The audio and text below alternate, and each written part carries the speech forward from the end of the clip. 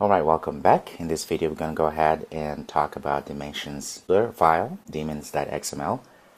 And the way you get to it, just go to your app, go to source, and drill into your main and resource and values, and there it is, dimens, dimens.xml. And when you open that up, you will see there's two items there. This comes with Android Studio goes ahead and puts those two in there.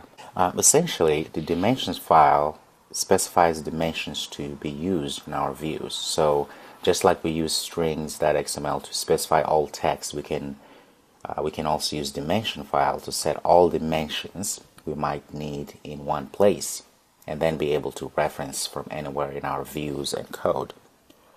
So as you can see here, uh, what are we doing? We we creating a dimen tag here. Well, we have a tag and then we have a specified dimension and we giving it a name activity horizontal margin and we specifying the unit of that dimension here in this case 16 dp. Now dp stands for density independent pixel. Usually we'll always use the dp for anything um, that you try to set dimensions for on android. That's the recommendation because is is pixel independent. Doesn't matter how big your screen is or how small it always fits and, and makes it look good. Okay?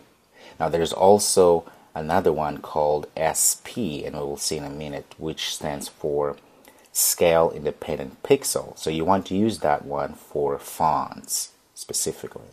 So DP for anything you want to specify the dimensions for and SP for fonts. Okay? So now how do we uh, make our own dimensions very simple. So you just go open this tag here and say dimen there you enter and specify a name. You can say text dimension. And of course you close and then inside here let's say 19 SP because this one is going to be for a text that we're going to specify in a minute here. So once we save that, let's go ahead and open up our layout folder. Let's open our the one we created here. Now let's change to design view here. Alright, so let's go put a small text here. Let's go back and redo this. So what are we going to do? We're going to take this medium AB medium text and put it here. It's there we could go ahead and change everything from here but let's let's go back to our text here so we can see. So this is what we just inserted inside of our screen. Um, now if you wanted to change the text size so you just go Android semicolon and you see the beauty of an IDE is that gives you all the options but we want to go ahead and say text size. You can navigate to text size. Now, to access our dimensions here, all you do is you say at d i m e n slash and we named it what do we name it? Text dimension. Okay so say text and there it is. Just hit enter and save.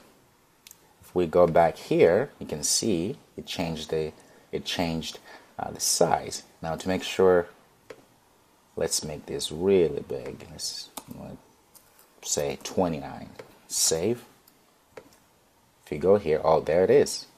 Look at that. It changed to a bigger font size. Let's go ahead and change the size of the button not necessarily the font size inside. Let's go here and specify a different dimension here. Let's say dimen name. We're gonna call button size. Well, size. Let's say button height. Specific. Let's say it's gonna be. We want it to be 250 dp because now it's not. We're not talking about fonts So let's go to our activity layout. That one, let's go to text. And you know, this is our button here. Now we have this saying the height to be wrapped. Let's change this to what we just specified. So at D-I-M-N-E slash, we call it button height, and save. We go here, back to our design here. You see, it changed because we specified height to be 250 dp. If we change back, let's say to just 200 and save and go here and you see it's changing. Great. So you now you have the power to go and create your own dimensions and change the size of things and how things look size-wise on the screen. All right. Now you notice also here there is another values folder where Inside we have dimensions, strings, and styles, but we have this other one says values W820DP and has also dimensions. Let's click that. What this is, is the same as the values folders dimensions here, but the difference here is that this is for different screen sizes of devices. As you know, Android devices come in different sizes, screen sizes. So when we develop applications, um, Android Studio gives us this flexibility of defining different sizes or different dimensions for different Android device sizes. So in this case here, the values W820DP, you would put all of your specifications for dimensions here to target bigger devices. So screen like tablets or phones that have really big screen sizes. That's all. All right. Good job. So I'll see you in the next video.